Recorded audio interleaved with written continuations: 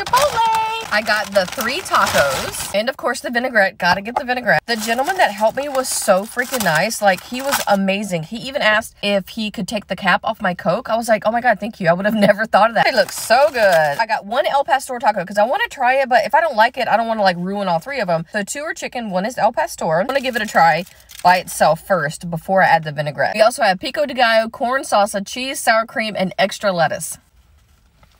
Mmm. The El Pastor is really good. I would definitely order it again. Has a lot more flavor than the regular grilled chicken. Vinaigrette. This stuff is like gold, you guys.